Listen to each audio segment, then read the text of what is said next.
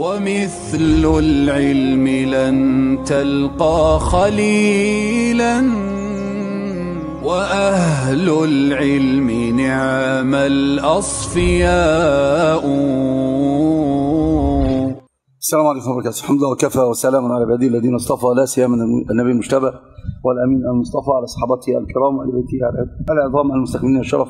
وبعد حتى لو كان بعض بعض المغالطات في مسائل طلبة العلم طلبة العلم الأولى بهم أن يكونوا حقا طلبة علم ويعالجوا كل مشكلة تواجههم بالعلم بالشرع. المسألة مش مسألة حالات نفسية. فالشرع يحكم لكل إنسان. وأنتم طلبة علم يبقى إذن الذي يحكمكم هو هو الشرع الكتاب والسنة. وأي شيء هيبقى مرده الكتاب والسنة الفوز فيه ونهايته تكون أقرب ما تكون. عامة أنا ما أستطيع أن أنا يعني أرجئ شيء الله تعالى فتحه لنا.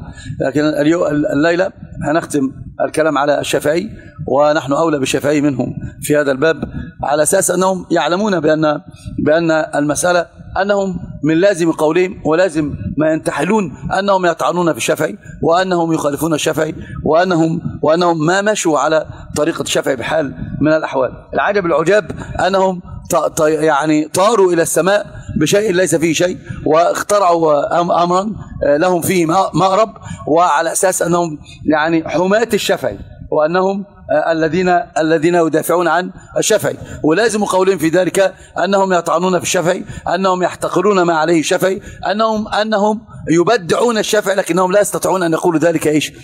تصريحة. ولكنهم قد بينا لهم المفارقة والمبينة العظمى بينهم وبين الشافعي. حتى أخرجوا رجلا خرج أنا ما أدري والله ما أدري ماذا أقول. يعني أنا دعوت له والله بقى يهديه. طلع يقول لك السلف ما بيثبتوش الصفات السلف لا يثبتون الصفات. هذا الرجل في شيء عنده علم يعني علميا. المسألة صراحة ظهرت جدا على على الضعف العلمي الموجود في هذا الباب. فهم أرادوا بهذا الكلام. طبعا إخراجه أصلا بوازع من هؤلاء الضعافة الذين ما استطاعوا أن يجابهوا الكلام على الشافعي ومسألة أولوية الشافعي. أين أنتم من الشافعي؟ السؤال المطروح أين أنتم من الشافعي؟ هذا اللي نتكلم فيه. أين أنتم من الشافعي في الإيمان؟ أين أنتم من الشافعي في القدر؟ أين أنتم من الشافعي في الأسماء والصفات؟ أين أنتم من الشافعي في مسائل الإلهية؟ أين أنتم من الشافعي في مسائل القبور التي التي أنتم ضغطتم الدنيا بأسرها؟ وأنتم ليل نهار فتاوى تنزل على مسألة جواز البناء على القبور وأيضا زيارة القبور والتمسح بالقبور والتبرك والتوسل وكل ذلك تعرضنا له اليوم ختاما. سنقول أين أنتم من الشافعي؟ في هذا الباب على مسألة مسألة القبور والتوسل والتبرك على ما ما ألصقوه أيضا بالشافعي نسبة ولم يكن هذا صحيحا. والأمر الآخر نقول ولو أردتم أنا بقى هترك المسألة استفتاء لكم. ولو أردتم أن نبين أنكم أبعد الناس عنه فقهيا سنبين ذلك. حتى في الفقه أنتم أصلا أبعد الناس عن عن الإمام الشافعي. ورب العزة لا تحترمون مكانة ولا تقدرون تعظيما لسنة ولا ولا لدليل جاء به الشافعي وتأخذون به. المسألة الهوى متحكم في في جميع الناس. عامة ختاما أقول أين أنتم من الشافعي بناء البناء على القبور حرمه الشافعي وأيضا نهى عنه وبين الشافعي أيضا في كثير من المسائل عدم حرمة الصلاة في المساجد فيها القبور ولو قالوا بالكراهة أو أو الصلاة في في المقبرة. يقولون كثير من المتأخرين يخفون علة أظهروها المتقدمون ألا وهي؟ يقولون بأن المسألة اختلاط العظم بالرمل عن مسألة النجاسة مش مسألة مسألة سد السريعة وهناك إشارات وسيأتي الكلام عليها أنها الأصل فيها المنع من ذلك هو سد السريعة لا سيما وأن هذا البناء على القبور تجسيس القبور التبرك بالقبور كل ذلك فيه غلو. وقد قال النبي صلى الله عليه وسلم إياكم الغلو إنما أهلك من كان قبلكم الغلو في الدين. الغلو في الدين. والمسألة أصلا ما أتت ما أتى الشرك على الأمة أو ما أتى الشرك على الدنيا مش على الأمة. ما أتى الشرك على الناس بعد عشرة قرون من التوحيد إلا بسبب إيش؟ الغلو. كما قال ابن عباس رضي الله عنه وأرضاه أنهم يعني كان أناس من الصالحين صوروا لهم تلك التصاوير وبنوا لهم أو نحتوا لهم هذه التماثيل وقالوا نراهم يذكرون بإيش؟ بالعبادة.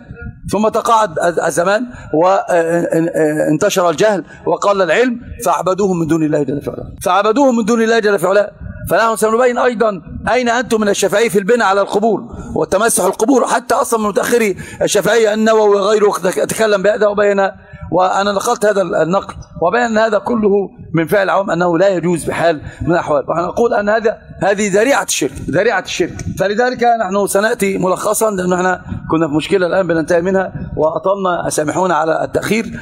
فهنحاول بإيجاز نأخذ هذه المسألة وأقول أنا سأترك لكم الاستفتاء. لو عرفتم تردوا تردوا علينا في هذه المسائل في الأسماء والصفات أنا بقول لكم بكل بجاحة بجاحة وبكل بجاحة. لو عندكم رد علمي رد علينا في هذا الباب. ما فيش ولن تجد بحال من الأحوال في هذا الباب. ولله الحمد والمنة. الحق حق يتبع.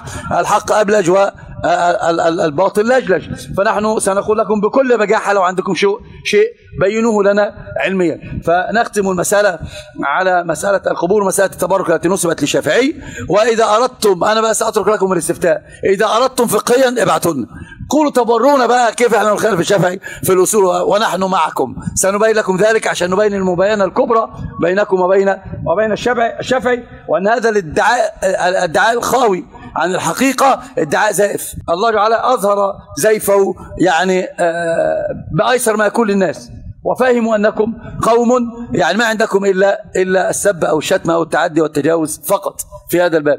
ولكن الحقيقة العلمية لو إحنا أصلا رددنا السب بالسب أو الشدة بالشدة يقول لك بص بيجعجعوا شوف انظر ده بيشتموا شوف انظر. فاهم إزاي؟ بهذا الباب. ودي طبعا أصلا المك المكر والكيد الذي الذي يرد عليه. الله تعالى يرد عليهم مكرهم وكيدهم. وحقيقة الأمر أصلا من السنة أنا أقول من السنة أن هناك معاملة خاصة لأهل البدع. الشرع جاء بها بالنص وبأثر الصحابة. أن أهل البدع لهم طريقة في التعامل لكننا نتعامل معهم دينا. لأنني قلت وسأقول والله شهيد على ذلك. لا خصومة لا خصومة بيني وبين ليس عندي خصومة بيني وبين وبين أحد. ما في خصومة ما في عداوة. أنا لا أعادي أحدا ولا ولا أخاصم أحد. إلا إلا في مسائل العلوم الشرعية والأصول والاعتقاد النقي اعتقاد النبي صلى الله عليه وسلم. لما يأتي رجل يعني مشهور عندهم جدا يقول السلف لم يثبتوا الصفات ويحيد عن عقيدة النبي صلى الله عليه وسلم خوفا من قول النبي صلى الله عليه وسلم لأننا وجهنا الناس إلى أن الذي يحكم يحكمكم الآن هو قول النبي صلى الله عليه وسلم. وتفترق أمتي على 77 فرقة خافوا أنهم يكونوا من الفرق. الله طب أنت خايف أنك تكون من الفرق هذه؟ كن من الفرقة الناجية يا أخي كن من وصف ما ما قال النبي صلى الله عليه وسلم أن هؤلاء هم الذين كتب الله الله لهم النجاة. قال قال وتفتقر ما تفترق أمتي على 73 فرقة كلها في النار إلا واحدة. قالوا من يا رسول الله؟ تشريب بالأعناق. ما هو ما فيش 73 فرقة في النار واحدة تنجو يبقى إذا لابد أن تبين لنا من هي. طبعا من هي؟ هو ما أرادوا ما أرادوا بذلك الأشخاص ولا الأعيان. وش أرادوا؟ المنهج لما لما طيب؟ لأن هذا الدين دين صالح لكل زمان وإيش؟ ومكان. يعني هذه الفرقة بس اللي مع النبي صلى الله عليه وسلم ينجو والباقي يهلك فكأنه النبي صلى الله عليه وسلم قال المنهج من كان على ما أنا عليه اليوم وأصحاب. من كان على ما أنا عليه اليوم إيش؟ ها؟ عقيدة علما عملا سلوكا خلقا ديانة. هكذا. ما كان على ما أنا عليه اليوم أصحاب أين أنتم منهم بقى؟ أين أنتم من أصحاب؟ أنت المتكلم اللي يقول لك الصحابة ليس لهم يعني ما لا يثبتون الصفات أين أنت منهم أنت أصلا؟ أنت أين منهم أنت؟ ها؟ الشافعي أثبت اليمين وأثبت أثبت اليمين وأثبت وأثبت الأصابع وأثبت الرجل وأثبت العين وأثبت النزول وهذا بالسند الصحيح فإنه لك. الشافعي ده من السلف ولا مش من السلف؟ أثبت ولا ما أثبتش؟ مالك أثبت الاستواء ولا ما أثبته إيه ده؟ إيه ده؟ هو بيعمي على مين هذا الرجل؟ ما الذي يحدث؟ يعني هو إما إما أن يتهم بالجهل المطبق وإما أن يعمي على الناس. كيف يقال ذلك؟ وكيف يقول بأن السلف لم يثبتوا صفة؟ أما أثبت اليهودية أثبتها يا رجل. أنت فين؟ الله أنت مش بتحفظ الكتب الستة؟ أين حفظك للكتب الستة المخترع علينا وما قلتموه لنا بهذا الباب؟ ماذا تفعلون؟ الأمة الطائفة دي طائفة أعوذ بالله. أعوذ بالله من هذه الطائفة في هذا الباب. أعوذ بالله منها. أريد أفهم هذا الباب. اليهودية أثبت الصفات. اليهودية أثبت الصفات. وتقول الصحابة لم يثبتوا الصفات. لما دخل اليهودي وقال يحمل الله الثار على ده والأنهار على ده والأشجار على ده والنبي صلى الله عليه وسلم يبتسم إيش؟ طبعا المخابيل ماذا قالوا؟ ابتسم مغضبا. طب ما طيرش رقبته ليه؟ لما لما لم يقتله بأنه قدح في اللهجه الفعليه وتكلم على الله ما ما بما لا يحق.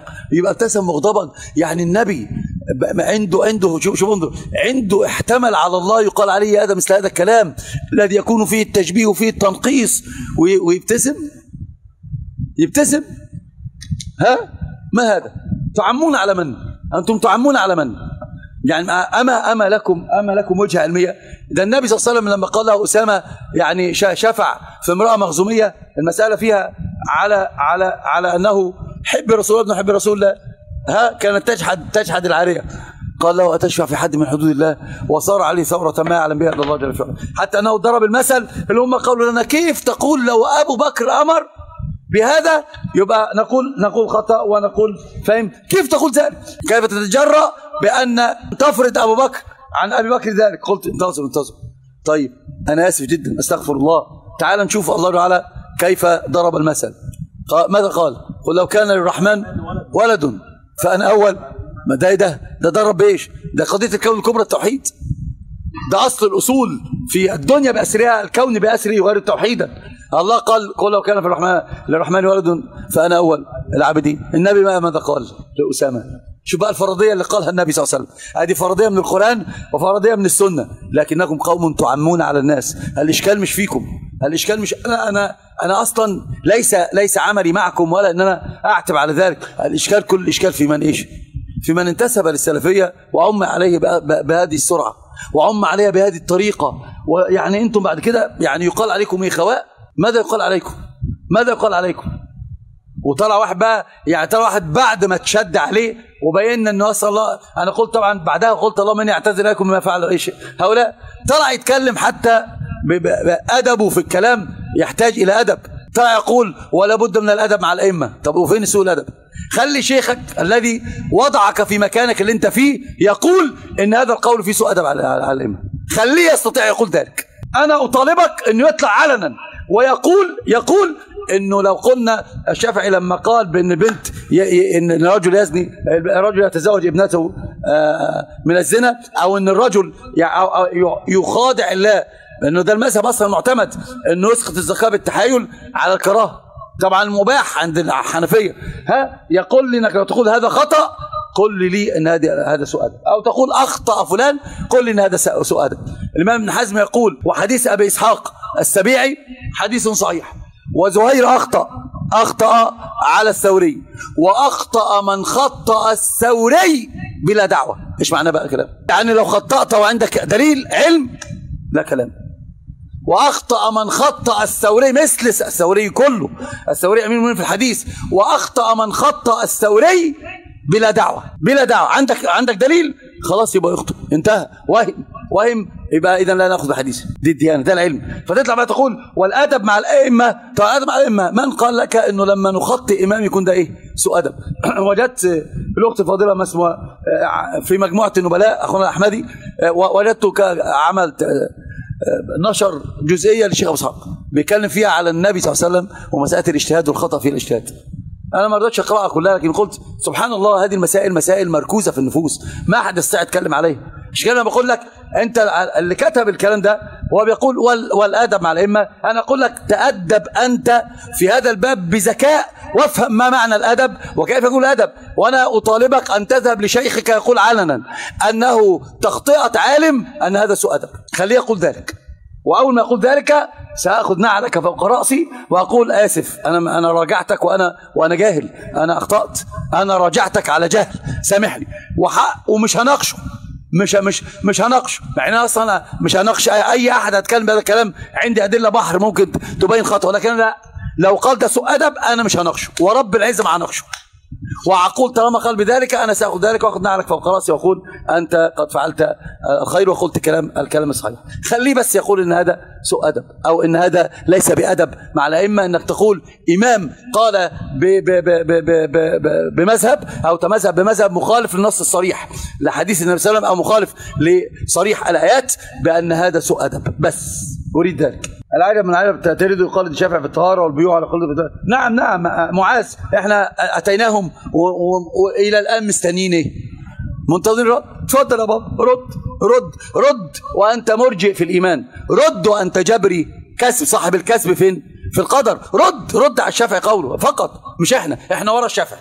وأنا قلت لك يلزمك أن تقول إن الشافعي إيش؟ نبتة. حشوية مجسمة صح كده؟ آه هو كان أنتم قلتوا علي أنا أكفر أهل الأرض. آه نعم. طلع قال لك شوف النبت شوف شوف المجسم. ده بيقول لي لا أصابع ولا أنامل. ده هو الراجل اللي أنا أصلا كلمته في التليفون وشددت قلت له يا ابن الحلال افهمني. أنت تجهل حتى كتاب الله حتى اللغة اللي تتمسكوا بها تجهلونها. افهم. انت الآن انت انت الآن بتتهم النبي. طب النبي قال فوجدت برد انامله آه، لما قال وضع صدر يضع صدر فوجدت برد انامله طب النبي صلى الله عليه وسلم لما أضاف الانامل لله جل في علاه إيه اللي فيها؟ ما هو يا عالم بمعناها يا مش عالم بمعناها يا بيتكلم بكلام مش مش فاهمه آه، استغفر الله أو مش عارفه وبيبالغ كلام مش عارفه. صح كده؟ أنت تتهم النبي بذلك تستطيع تستطيع تقول ذلك. سكت. قلت له يبقى إذا النبي صلى الله عليه وسلم قد بلغ ما يعلم وقد بين ما ما هو أتم البيان وإلا تتهموا في البيان أيضا. هم بيتهمون في البيان طبعا. هم يقولون إن هو ما بينش. ليه؟ عشان الصحابة عقولهم لا تستح لا تحتمل بيان النبي. هو بيقول ذلك. قطع في الصحابة صريح. ومن تحت لتحت قطع في مين؟ في النبي صلى الله عليه وسلم. وأيضا بقى هم مذهبهم النبي صلى الله عليه وسلم قد بين بلغ أتم البلاغ وبين أتم البيان. أنت بتقدح فيه بل لازم قولك أنك تقدح في الله جل في علاه تصف الله بالنقص. طبعا أنت بتقول الله جل في علاه. لما تيجي تقول لي الله يتكلم الحمد لله اتفقنا في في صفة. تقول لي لا القرآن ده مش كلام الله. ده القرآن ده إيه؟ عبارة عن كلام الله. أنت عملت إيه؟ أول حاجة وصفت الله بالنقص. الله الله الله, الله. لا يعبر عما في نفسه. فجبريل يأتي يعبر عنه. طيب ولما جبريل عبر عنه بالقرآن فين قدسية القرآن؟ تعالى قول لي أقول لك والمصحف يا عم المصحف إيه؟ ده كلام مين؟ ده كلام جبريل. نعم اتفضل. وأين إيه, إيه؟ ما هو ده ما نتكلم فيه. هم كده وصفوا الله بإيش؟ ما بيعبرش. استغفر الله استغفر الله. اللي أنا أقصده انه انه إنه هنا المسألة آه، يعني ظاهرة جدا. نحن لا نتكلم. نحن خلف الشافعي خلاص اللي تق- تقولوه على الشافعي يقولوه علينا. نحن نتبنى ما تبناه الشافعي بأن القرآن كلام الله. نتبنى ما ما تبنى الشافعي أن الله له يد وان وأن الله له يمين وأن الله له أصابع وأن الله له أنامل. الشافعي بسند صحيح. نتبنى ما تبنى الشافعي بعلو بإثبات علو الله جل في علاه. نتبنى بأن بما تبناه الشافعي بأن أول واجب على العبيد هو التوحيد. صح كده؟ أنتم الآن بدعونا. آه ما ما ما إحنا الآن كلامنا كلام الشافعي. كلامكم كله هيكون موجه لمين؟ بس ردوا ردوا. تعال بقى للقضية الكبرى قضية القبور. نشوف أنتم الشافعي مش أنتم أصلا ده هو ربنا جابكم والله الذي لا إله إلا هو والله الله أتى بكم. عشان الدنيا كلها تعرف أين أنتم من الشافعي وأنتم تقولوا الشافعي وابو الشافعي وطلع رجل قال له لأن أخر من السماء لا أقول من مكر إيه دي اخر من السماء. المشكلة المشكلة مش مش عيب القول المشكلة لأنه آه آه وجد وجد وجد من يعطي أذنه. فلما وجد من يعطي أذنه خد بقى على مشي بيع جرجير زي ما انت عارف. وجد الأذن لكن دي. ما بتدومش. ولذلك إحنا قلنا المشكلة في هذا الباب هم مش فاهمينها. طب انت ضرب عمال تضرب وت- وتشهر وتشهر. طب انت بتضرب ليه؟ عايز تسقط الرجل. انت مسكين. مشكلتك مش مع الرجل مشكلتك مع مين؟ مع الله. وهو لو الرجل نفسه لو كان دين حقا هيقول انت وأنا مشكلتي معاكم؟ اعملوا هاتوا فوق ده اضعاف مضاعفه أنا مشكلتي الآن. الذي يرفع هو من؟ الله جل وعلا لا يخفض هو من. الذي يضع الحب في القلوب هو من؟ الذي ينزع الحب من القلوب هو من؟ يا الله إجمعوا كيدكم وأمركم وشركاءكم. ثم اغدوا إلي ولا تنظروا. قال أعطيني فإن مدحي زين وذمي شين. وقفوا على سكر المدينة. المجنون. يقولون على النبي صلى الله عليه وسلم حاشاه بأبي وأمي. إنه يفرق بين الرجل وإيش؟ و- وشوف النبي صلى الله عليه وسلم قال إيش؟ قال قالوا قالوا عصينا مذمما. شفت شفت بيذموا مين؟ مذمم اسمي محمد مش أنا ده حتى أصلا فيما بيفعلون حتى فيما يفعلون فاهم حضرتك؟ وبعد كده كانت إيه؟ كانت دعاية مجانية لمن؟ للنبي صلى الله عليه وسلم في هذا الباب. فالمشكلة هنا إحنا أصلا مشكلتنا مع من؟ مع من؟ نحن هذا الأمر. تعال اقدح فيا وتعال شوف شوف ده راجل ده راجل ده ده بيعمل كذا وبيعمل كذا وبيعمل كذا وفيه وعليه وصفاته السيئة. دعك من هذا كله. من الذي يقيم؟ أنت؟ أنت؟ يبقى أعبدك من دون الله جل في علاه لو أنت تملك الجنة والنار والتقييم من الذي يقيم؟ من الذي يعطي الثواب؟ من الذي آه، ينزل العقاب؟ خلاص هو اللي يعبد بقى وحده لا شريك له. يبقى أصلا الناس من الناس لا لا لا ليس لهم إيش؟ ليس لهم أي تأثير في أي شيء. مساكين. أنفسهم بيد الله جل وعلا. والأمر مقدر ومكتوب. وكل ما هو مكتوب لابد أن يراه أن يراه المرء. يراه المرء فلذلك بقى هو مكتوب عليكم إن الله يظهر أنكم أبعد الناس عن الشافعي أنتم لازم قولكم الطعن في الشافعي والتنقيص من قدره. ولازم قولكم أيضا ولازم اعتقادكم أنكم تبدعون مين؟ الشافعي ولازم قولكم أيضا واعتقادكم أن الشافعي نبتة حشوية مجسمة على قولكم وعلى اعتقادكم لأنه يخالفكم في كل الاعتقاد. وقلنا دعوكم من قولنا وزعمنا هاتوا ما عندكم هاتوا ما عندكم ردوا ما قلناه الآن نتكلم بقى على القضية الكبرى قضية البدوي الغوث الغوث يا بدوي. القضية الكبرى بتاعت فلوس النذور. ماذا؟ ده أنت كده داخل ده أنت داخل غلط. ده أنت دخلت على الحصالة. لازم أخرج دماغك وأعملها مفتاح. الرجل أصلا صاحب النذر قال لك أنا هقتل البني آدم بيتكلم ده. يا عم ما لا, لا عليك. افعل به ما شئت. هو الرجل أصلا له عمر وسينتهي عندما ينهيه الله جل وعلا. وله عرض عايز تهتكه اهتكه. لأن الله إما يحفظه وإما المسألة فوق مش تحت. المسألة ولله الحمد والمنة تدار من فوق العرش. بفضل لا تدار من تحت. تحت ما فيش دوران. كل ما تفعل وتجتمع الأمم بأسرها لشيء فوق. ما في. كان في شيخ معين فاضل جدا قال لي قلت له شوف أقول لك شيء. قال لي نعم. قلت له ما أرى هو تعجب جدا إن أنا بقول له أشياء. هو اطلع عليها طبعا اطلع عليها إخبار. إخبار شفاهة. أما أنا أصلا الله وريها لي من بعد يعني. فقلت له شوف الخطة محكمة. محكمة بإتقان. لكن فيها خرق واحد. فهو مش عايز يقول لي إيه الخرق هو فسكت وسكت عشان كلام أنا سكت أنا كمان مش هقول لك لما تقول لي قول لي حق حقيقة فاهم إزاي؟ فهو فضل لغاية ما حقا قال ما هو؟ قلت له لم يربطوا الأرض بالسماء خلصت أي شيء لا يربط بالسماء الأمر منتهي أي شيء لا يربط بالسماء الأمر منتهي والمسألة تدور عند مين؟ عند الله جل وعلا وإحنا بنتكلم دلوقتي إحنا بنقول إيه؟ ده ده اسمه جناب إيه؟ جناب التوحيد صح كده؟ خلاص بقى جناب التوحيد وإحنا مع مع جناب التوحيد. الشافعي هنا في بناء ال- البناء بناء المساجد على القبور. طبعا بناء المساجد على القبور إحنا أعطينا آه، محاضرة كاملة على حرمتها صح؟ اجمالا نعطي بس الأدلة لأن عشان برضو يعني هنقوي جناب الشافعي ولا نقول هذا كلام الشافعي؟ عشان إحنا نقول نحن تحت رايه الشافعي. اللي عايز يضربنا يضربنا يضرب الشافعي الأول. عايز يضربنا يضرب مين؟ يضرب الشافعي الأول. أو يقول يا كذابين يا كذابين كذبتم على الشافعي ممتاز ممتاز. بين إن إحنا كذبنا على الشافعي دلوقتي إحنا في حماية الشافعي. اضربوا بقى الشافعي زي ما أنتم عايزين. طلعوه بقى بس هتجيبوا صورته إزاي وهو طالع من دقنه تحت وبتاع؟ ويقول نحن وهو بقى. خلاص اعملوا بقى. جيبوه بقى. إزاي هتجيبوه؟ إزاي هتجيبوا الشافعي كده؟ آه واحد دلوقتي أنتوا ال- المواجهة بينكم وبين وبين الإمام الشافعي. الشافعي في الأم. قال الإمام الشافعي وأكره أن يبنى على قبر مسجد. طبعا الكراهة هنا كراهية ليش؟ التحريم كما قال ابن القيم وطبعا الدلالة في هذا الباب نقول عشان أبين لك التحريم تعالى الشافعي قال النبي صلى الله عليه وسلم نهى أن يقرن المرء بين يعني تأكل تمرتين كده؟ كده؟ خليها ثالثه حد إذنكم؟ هو بيقول تمرتين كده تقرن بين تمرتين. أنت اثم حرام. اخد العملية الثالثه عشان دي مفسدة لها منسقه برضه إفساد لازم نفسد ده. ماشي؟ السحر لابد رده. في أسباب. ومن اسباب رد أها منسقه إيش؟ المسألة في هذا في في هذا الباب. أنه قال إذا قارن بين التمرتين فقد وقع في الإسم. حرام. بالله عليك. وبين المساجد على القبور هو نفسه قال وهذا يؤول إلى تعظيم المقبور يبقى تعظيم من دين الله من دون الله جل وعلا. يعني يحدث فيه الغلو. فيكون هذا على الكراهة وأخذ تمرتين على الحرمة. ها. ها. تقولون ذلك؟ فطبعا ده اللي يقول بذلك يكون يكون رجل أبعد الناس عن فهم الشافعي فيقول الشافعي قال وأكره أن يبنى على القبر مسجد أو وأن يسوى أو يصلى عليه وهو غير مسو أو يصلى إليه. لأن النهي صريح نهى النبي صلى الله عليه وسلم عن الصلاه على القبر وكما قال عمر لأنس القبر القبر قال وإن صلى إليه اجزاؤه وقد أساء. أخبرنا مالك. انظر. قال وإن صلى إليه اجزاءه وقد أساء. وده عليه الائمه الثلاثة. إنه لو صلى في مسجد في قبر فالصلاة صحيحة لكنها وقع في إيش؟ في, في, الكراهة. يقول أخبرنا مالك أن رسول الله قال شوف بقى الاستدلال. الاستدلال يبين لك إيه؟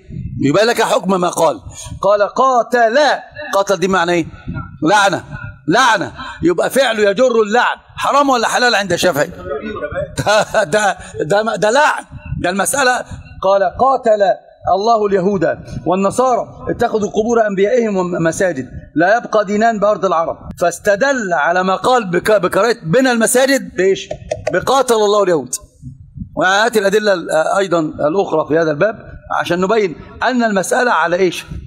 على التأصيل في الشافعي رد على الشافعي هو هذا الذي نريده آه، رامي الجزائري قال لي بس بس رامي عيني غلبان. لازم يعيش معانا شوية.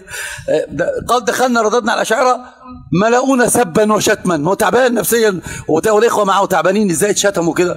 ما هو أصلا ما عندهمش ذلك. أنت لازم تعرف ذلك. ده إيه كده لو عاش معانا يموت بقى. ده أنت لو قعدت معانا الثلاث أيام بتاعت الط- الطحن دي كان ممكن كان ممكن يجي لك حاجة. المسألة معروفة في هذا الباب. استدل الشافعي على قراءة البناء على المساجد على المساجد على القبور. قال قاتل الله اليهود والنصارى اتخذوا قبور انبيائهم مساجد لا لا يبقى دينان بأرض العرب. بالله عليكم أنتم تبنون الان البدوي. فاطمة الزهراء تبنون الحسين. طيب الب- أبو العباس أبو حصيرة أم حصيرة. طيب أم ملاية. فهؤلاء البناء على القبور منين أتيتم بها؟ أدي الشافعي أهو. أنتم تدافعون عن الشافعي صح كده؟ والرجل أنا أطالب من قال لأن أخر من السماء. خير لي من أن أقول طب الله يكرمك الآن أنا أقول لك لا تخر من السماء. وافق الشافعي يقول حرام بناء القبور على المساجد. يرد لنا على ذلك. ما تخ... خليك في السماء ما تخرش من السماء ما تخرش من السماء أنا عايزينك دلوقتي الآن وانت في السماء ابعت لنا رسالة ماذا ترد على الشافعي في هذا القول. لأن الشافعي يعني على ان يحرم البناء على المساجد. آه، ائتنا وأنتم أصلا بت- بتقولون إن البناء على المساجد مستحب. طيب وتقولون إن هذه هذه من بركة أولياء. ائتونا الآن بالرد على الإمام الشافعي. قال وأكره هذا وأكره هذا للسنة والأثار وأنه كره وأنه كره والله تعالى أعلم أن يعظم. انظر انظر هنا للعلة هو الآن بيذكر العلة. قال وأنه كره والله تعالى أعلم أن يعظم أحد من المسلمين يعني يتخذ قبره مسجدا. يبقى التعظيم عند الشافعي إيش؟ ها؟ أن تأخذ القبر مسجدا. ده تعظيم. والتعظيم هنا معناه إنه هتدخل فين؟ في الغلو. يعني هنا الشافعي بيتكلم على سد الذريعه ما يقولش كلام على سد الذريعه بالله عليكم قفوا هنا. ردوا لنا على ذلك. أيها الذي ايها الذي خر من السماء قف في السماء. رد علينا. الذين سبونا وشتمونا ودخلوا قالوا يا أولاد كذا ده الشافعي أبو شافعي. رد على الشافعي. الشافعي يرى أنه لا يجوز البناء على المساجد لأن هذه ذريعة للغلو. ذريعة للغلو. وهذا في الأم. في الأم. آه، الجزء الأول آه، صفحه 317 فقال الشافعي قال وأكره هذا للسنة والآثار وأنه كره والله تعالى أعلم أن يعظم أحد من المسلمين يعني يتخذ قبره مسجدا. وطبعا هذا موافق لقول عائشة أنها قالت إيه؟ لولا ذلك لابرز لابرز قبر. لولا ذلك لابرز لابرز قبر. نعم. ولم قال ولم تؤمن في ذلك الفتنة. ما هي الفتنة؟ تعال لكتاب الله ترى وده ركن ركن اللغة. ما هي الفتنة؟ الفتنة الشرك الفتنة الشرك قال أحمد أتدري ما الفتنة؟ الفتنة الإيش؟ الشرك. فلاحظ الذين يخالفون عن أمر أن تصيبهم فتنة ويصيبهم عذاب. الفتنه شرك.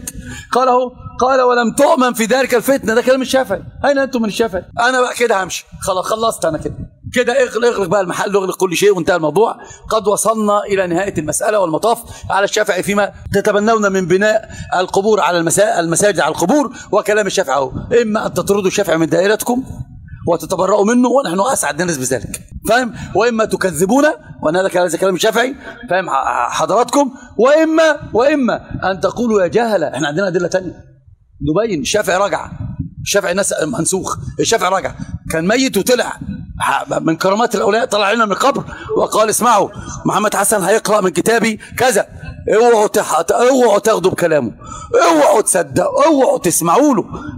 فيطلع الراجل يقول لك ذلك آه، اللي هو صاحب الكشف ما هو صاحب الكشف ولا هيقف لنا بقى يقول لك أتاني الشافعي ما في واحد ابو ابو أبو سطل أبو سطل ده حكايته حكاية.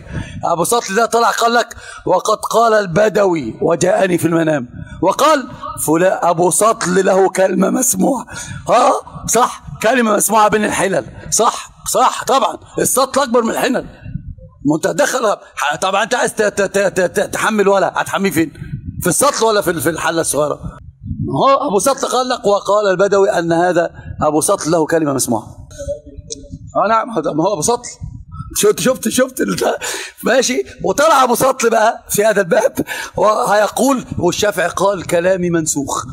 محمد حسن كذاب.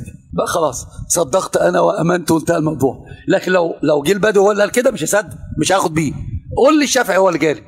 فأنا منتظر الآن الرد عليا علميا أو الرد عليا بما عندهم من دليل أو أبو كشف آه، الكشافة الذي قال له كل الأولياء يتكلموا بالطلاسم أنت تتكلم بالكشف؟ وهو طبعا نعم هو الوحيد اللي بيتكلم بالكشف. الشافعي إيه؟ بدع ما هو أنا برضه لازم يجيب لي علامة إن شافعي بتع بعت البدوي لأنه ممكن ممكن ي... ها؟ لا كده. يبقى كده برضه الكلام ده ممكن نصدقه. ممكن البدوي يقول لما كنت أول امبارح مع الشافعي فاهم حضرتك ورحت له؟ لأن هم هو خلاص بقى انت المسألة. المساله واصله لهذا الباب. وحدثني قلبي عن إيش؟ عن بدوي. هي دي. فيأتي هذا الباب ويأتينا بالرد. الرجل بيقول ولم تؤمن في ذلك الفتنة. ده كلام الشافعي في الأم. خد بقى ثاني. والضلال على من يأتي بعد بعده فك فكره والله أعلم لئلا يوطأ. فكره والله أعلم لأنه مستودع الموتى من الأرض ليس بأنظف الأرض وغيره من الأرض آه من الأرض أنظف. ده معناه إيه؟ رتب لك إيه؟ العلل. فاتى بالعله الكبرى ثم العله الأخرى. الكلام على مسألة اختلاط العظم بال- بال- بالأرض وإن الأرض تكون نجسة ليست هي الأصيلة. كل المتأخرين لما نقلوا حرمة الصلاة في المقبرة نقلوها على أي علة؟ على أي علة؟ على أي أخذوا علة. وانت طب فين الأولى؟ أين هي؟ يقول لك نحن أعلم بإمام المذهب منكم. صح؟ صح؟ اهو بينا الآن شوف وهذا كلام الشاطبي اللي هم عايزين يذبحوه اللي هم قالوا على الشاطبي إنه إنه إيه؟ صحفي. وش قال؟ قال قال, قال الشاطبي المتأخرون افسدوا الفقه. فنقول الآن هذا هو. في هذا الباب أعيد عليكم كلام الشافعي والرد بقى عندكم. قلوا قال الإمام الشافعي و- وأكره وهنا بين لك العلل الثلاثة مرتبة. وأكره يعني أحرم أن يبنى على القبر مسجد مسجد وأن يسوى أو يصلى عليه وهو غير مسوى أو يصلى إليه. قال وإن صلى إليه أجزأه وقد أساء. ودي اللي إحنا قلناها لإما الثلاثة يتفقون أنه لو صلى في المسجد في قبر الصلاة إيش؟ صحيحة مع الكراهية. إما الأربعة اتفقوا على كراهية الصلاة في المسجد والح- والحنابلة قالوا يأثم يحرم. وقالوا الصلاة باطلة أيضا. المعتمد عندهم. وإن كان لم يكن وهما عندهم رواية أن الصلاة إيش؟ صحيحة. ويأثم وقد أساء. أخبرنا مالك أن رسول الله صلى الله عليه وسلم قال قاتل الله اليهود. قاتل يعني لعن. شو يقول كوريا؟ وقاتل يكون إيش؟ على الكراهة التنزيهية لا أبدا. بهالباب هم يتورعون. قاتل الله اليهود والنصارى اتخذوا قبور أنبيائهم مساجد لا يبقى دينان بأرض العرب. وقال وأكره هذا للسنة والأثار. وأنه كره والله تعالى أعلم أن يعظم أحد من المسلمين. يعني يتخذ قبره مسجدا. ولم تؤمن في ذلك الفتنة والضلال. حط تحتها 14 خط. وقل لي الشافعي ما قالش ذلك. النسخة اللي عندكم في الأم نسخة آه، شارع 12 نسخة فيها كذابين وضاعين وده اللي حصل معايا في دبي. قلت أبو نبي في أم نبي في النار. قام علي رجل قال تعال هنا. أنت إيش؟ كنت أنا بتكلم لغة عربية ما يعرفنيش إن أنا مصري. قلت له مصري. قال لي أنت مصري؟ قلت له نعم مصري. قال لي أبو نبي في النار. قلت له نعم في النار. والحديث صحيح مسلم. قال أبي وأبوك في النار. هل صحيح مسلم؟ النسخة المصرية فيها حديث كذاب موضوعة وكذاب خلاص في كذابين موضوع النسخة المصرية فيها كذابين. وهنا أيوة نسخة شارع 12 في الأم فيها كذابين. يا رب يدينا ودين الناس يا رب. ورب العزة ليس لنا خصومة مع أحد. حسبي الله ونعم الوكيل. حسبي الله ونعم الوكيل. جناب التوحيد. إذا كنت في جناب التوحيد لا تهاب أحد. إخوتي الكرام إذا أقول في هذا الباب قد ظهر كلام الشافعي زورا بجلاء نحن نطالب الجميع الآن ائتونا بما يشاء. بما يخالف ذلك. كذبونا يا عم. قولوا أن هذا ليس في الام قولوا ليس قول الشافعي. قولوا الشافعي جالكم في المنام وقال "اوعوا- تسمعوا محمد حسن. اوعوا. هذا كلامه ليس عندي. أنا بقول لكم اللي بتعملوه كله حلال في حلال. ده ما فيش أي حاجة. مساله السببية لا تؤثر. طيب؟ فاخرجوا بس اخرجوا ردوا علينا. الشافعي يحرم البناء على المساجد. وبين العلة في ذلك قال ولم تؤمن في ذلك الفتنة والضلال. والضلال على من يأتي بعده. ليه تقاعد ليش زمان وانتشار الجهل يحدث ما حدث مع مع آه، آه، آه، ودا وسواع ويغوث وعوق ونسرا. آه، مسألة مسألة التمسح بالقبر أنا نقلت عن النووي وعن غيري وعن الحليمي مسألة الحرمة وأتيت بها. لكن هنا في مسألة أيضا الشافعي قال بها عشان تعلموا. هذه أيضا بيتكلموا فيها. قال لك أعلم أهل الأرض وترى أهل الأرض يقول لك مفيش حاجة اسمها صفات. السلف ما أثبتوش صفات. جهل مركب.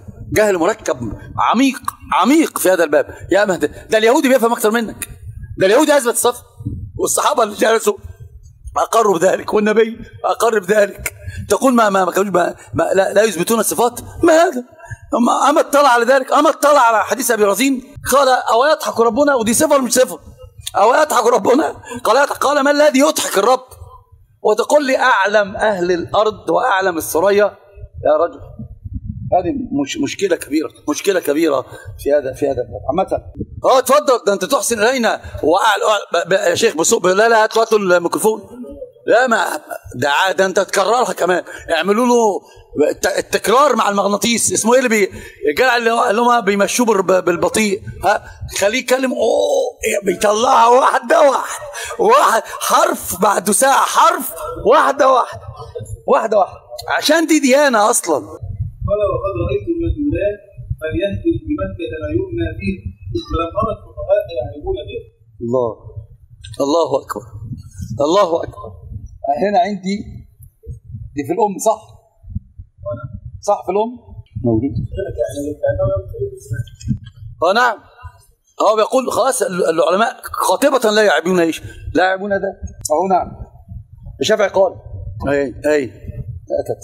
الشافعي قال وأحب أن لا يزاد في القبر تراب من غيره وليس بأن يكون فيه تراب من غير بأس بأ- بأس إذا إذا زيد فيه تراب من غيره ارتفع جدا.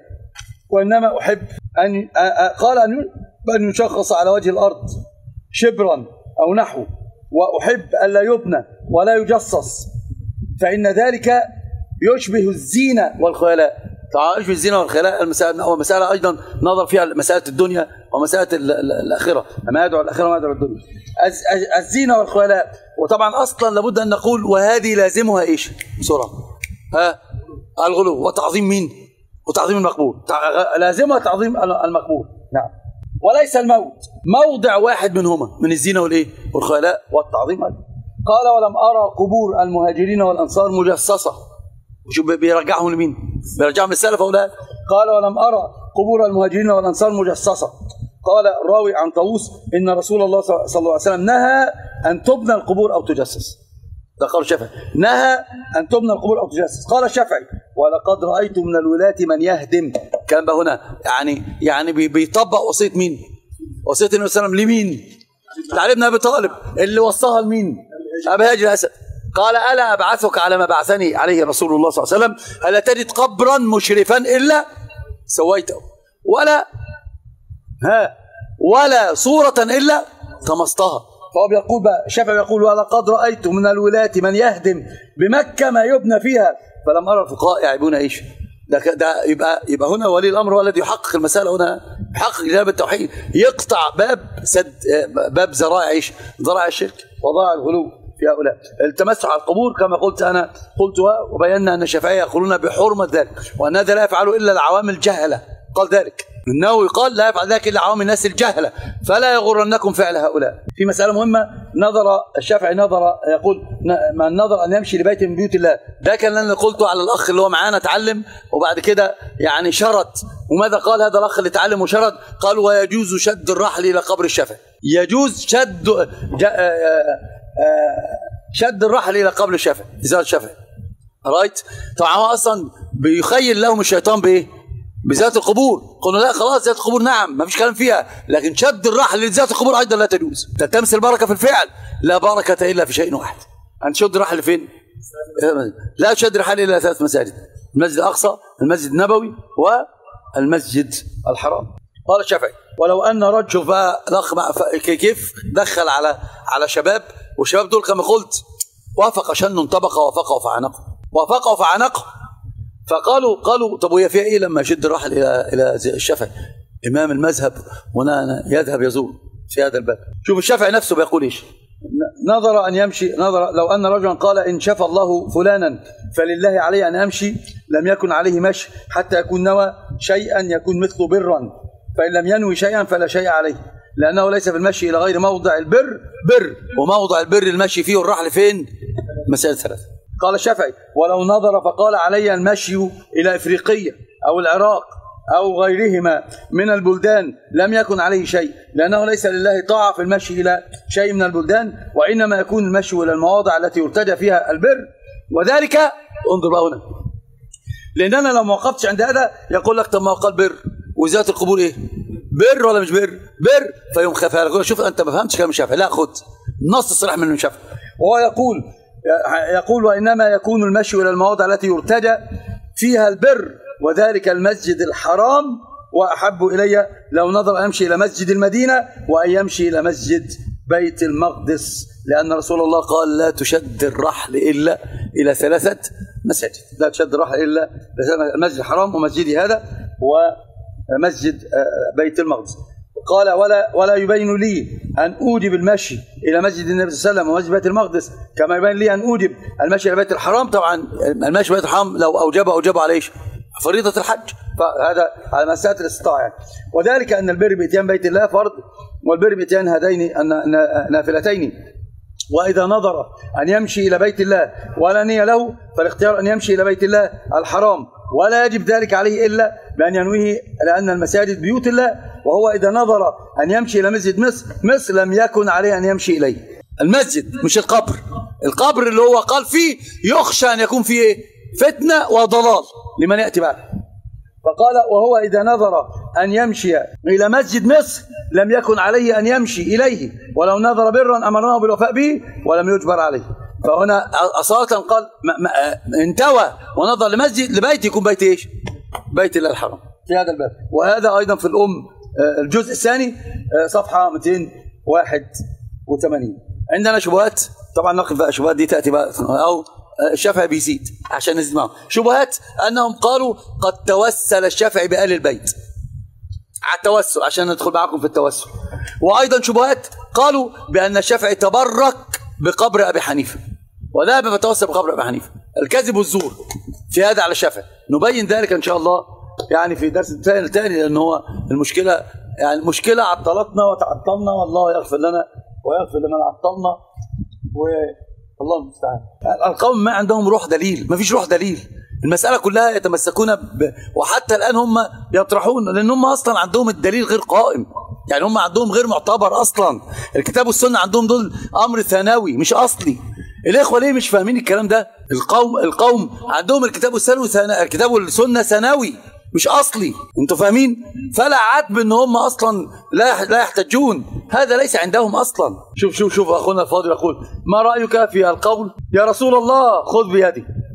على المعنى المجازي خذ بيدي في الآخرة واشفع لي. ما هو مش هياخد بيد حد أصلا يشفع له في هذا الباب. يشفع نعم مش هياخد بيد حد. ما فيش أي دليل على ذلك. ماشي. دعنا.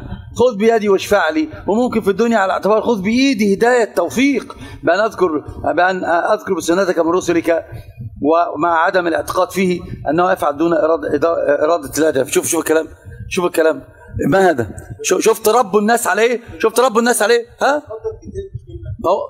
لا خذ بهذا شوف شوف هنا الآن كيف كيف رب الناس على إيش؟ بيقول لك وهذه تعتبر خذ بإيدي يعني ذكرني بسنتك. الله الله الله.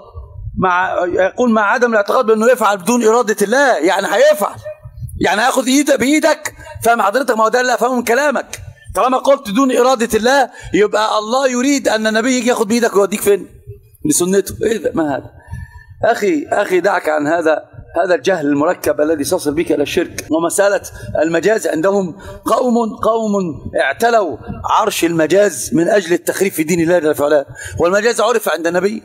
عرف القرن الأول ها؟ عرف القرن الثاني عرف القرن الثالث. المجاز الشافعي اللي هو اللي هو أسطورة اللغة كما يقولون. الشافعي باب اللغة. تكلم بالمجاز؟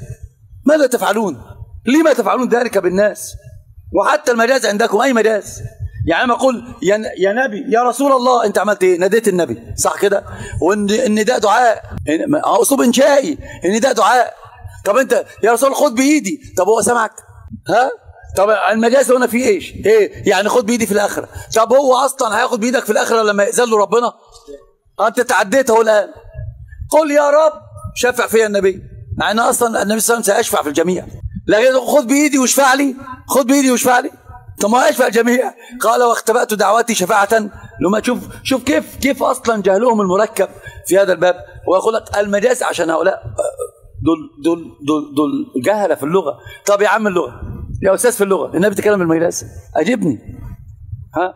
أبو بكر تكلم بالمجاز الصحابة تكلموا بالمجاز التابعون سعيد المسيب تكلم بالمجاز دول أفصح الناس. لغتهم العربية سليقه اين اين أين هم من المجاز؟ أخي دعك عن هذا. دعك دعك جهل الجاهلين وذريعة الشرك إن فتحتها. لن تستطيع أن تفوت منها. أخونا عبده قال كلام طيب جزاه الله خيرا. قال طبعا تكلموا بالمجاز. طب هات قال والقرآن كله مجاز. ربنا قال واسأل قرية حبيبي دي لغة العرب. لغة العرب يا بابا.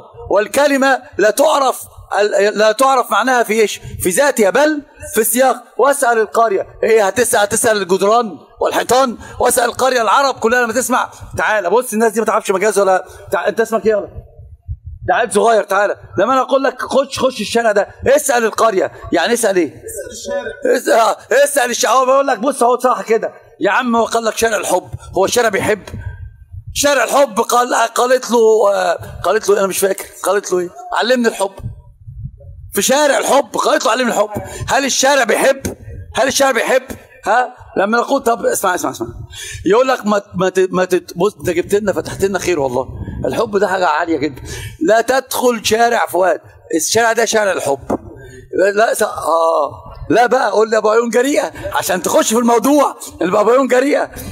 فاهم؟ لأن هو قال ال- الكبير قال ابو عيون جريئة عبد الحليم غناها للنبي. شفت الكلام؟ شوف أستغفر الله. طب الحلوة الحلوة. ها؟ في هذا الباب. هيغنيها في الشارع شارع الحب نفسه. فأنا بقول لك لا تدخل هذا الشارع. الشارع ده شارع الحب. ال- العوام كلهم لما يسمعوا إن الشارع ده شارع الحب ماذا سيقولون؟ سيب بالله ماذا سيفهمون من قولي؟ ما تخش الشارع ده الشارع ده شارع الحب. معناه إيه؟ طب أنا أقول لكم أنا أنا أقول وأنتم صوبوني وخطئوني والناس هنا في الفيس يعني معناها مليان حبيبة. كل واحد ماسك واحد تحت الشجرة انت حياتي انت روحي. صح كده؟ ما تدخلش الشارع ده شارع الحب. يبقى هنا هل ده مجاز؟ ولا دي من اللغة من اللغة التي فهمها الناس وتعرف عليها الناس؟ دي لغة العرب. لغة العرب يا حبيبي. لما يقول واسأل القرية عن اسأل أهل القرية. وكما قلت لك لو كنت تفهم وتعقل الكلمة لا يعرف معناها في ذاتها ولكن يعرف معناها في إيش؟ في سياقها. وده اللي كان من كلام الله تقول القرآن كله كله مجاز؟ هذا هذا هذا عطب. هات لي الشافعي قال بذلك أو أحمد قال بذلك أو أبو حنيفة قال بذلك أو جبت لك على ورا شوية لكن الصحابة ولا واحد تكلم بالمجاز ولا واحد تكلم الانسان قال أبو ذلك. يا ابني بيقول لي طب ما ده اسمه في لغة العرب مجاز. خلاص انت هتخليته خلاف لفظي. المهم أن هذا أن هذا على حقيقته. تعال أنت بقى لما تقول لي يد الله يعني إيش؟ يعني القدرة والنعمة. من وين أتيت بذلك أنت؟ فين الموجب لك إنك تجعلها مجاز. ها؟ ما الموجب لك؟ أنا بسألك اهو الآن يا عبد عبد. الموجب لك ها على إن ده مجاز. اتفضل. مولانا هل كلام ابن كثير إن في ألف مدفون في المسجد الحرام؟ ده كلام باطل يا أستاذ. باطل. وقالوا إن إسماعيل مدفون تحت الحجر وإبرا... ذكروا إسماعيل وأمه آه نعم. في الحجر. الفرق بين إسماعيل عليه السلام مش مفاوز. ما فيش مفاوز. ده بص ده مش آلاف مش ألف. أكثر أكثر. فهذا كلام باطل كلام باطل يا أستاذ عبد عبد ولو كان صحيحا لأخذت بيدك وقلت لك تعالى نشوف بقى المسجد الحرام يحرم الصلاة فيه. سقفت بكده وتقر راسي. هقول لك يحرم الصلاة في المسجد الحرام. آه آه آه آه. ما تنساش. تقطع. شفته أهو. أدي آخر فتاوى الرجل المعتوه قال المسجد الحرام لا يجوز الصلاة فيه. خلي السعوديه يقول لك هذا مطلوب دمه الان حرام والله حرام كده والله حرام يعني بالله عليك ألف مدفون ألف وألف مسجد ده إيه ده؟ ألف واحد في في في- الجزيرة اللي إحنا كنا بنطوف فيها وإحنا ماشيين كل ده عليهم كل ده عليهم الأنبياء لا تؤكل ليش؟ لا, لا الأرض لا تأكل أجسادهم مسخين في سبعون نبي بقى كمان شو مش شفتهم فيه لازم نراعي الكذب ونغض الطرف يغمز له بعينيك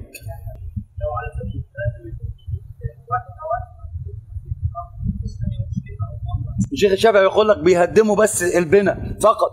فهيعملوا إيه في المسجد الحرام لو كان في لو كان في قبور؟ هو الأخ أخونا أستاذ محمد بدر قال مجاز كثير في القران يا مولانا. والله يا أخي أنا لا أؤمن بأن القرآن فيه مجاز بحال من الأحوال. وبينت ذلك شرحا في أصول فقه بس عشان احتراما لهم. الناس كتبوا بأدب نرد عليهم بأدب. ف يعني في هذا الباب. وإن قال كما قال عبده بأن دي لغة العرب اسمها مجاز أقول له يعني أنت تقول بيني وبينك الخلاف لفظي في هذا الباب هذا عندك لكن أنا أقول لا مجاز ولا مجاز في القرآن. ولما تقول المجاز في يد الله فوق أيديهم القدرة أقول لك هات الموجب لذلك. بس هات الموجب لهذا التأويل الذي جعلته مجازا. سأحمله عنك بس ائتني الموجب لذلك. ائتني بالموجب عندك. وأنا قلت للأستاذ عبده عبده ائتني بالموجب عندك أيضا ولم يأتي بالموجب وأنا أستاذ محمود بدر بأدبك جزاك الله خيرا. أه، لا كلامك غلط هنا.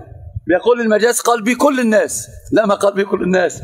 لا لا هذا خطأ مبين. ما قال به الصحابة ما قالوا به التابعون ما قالوا به تابع التابعين ما قالوا به الأئمة الأربعة ما قالوا به. وفي المتأخرين لو أردت أن تعرف ابن تيمية ابن تيمية وابن القيم وابن خزدة من داد اللي هو المالكي.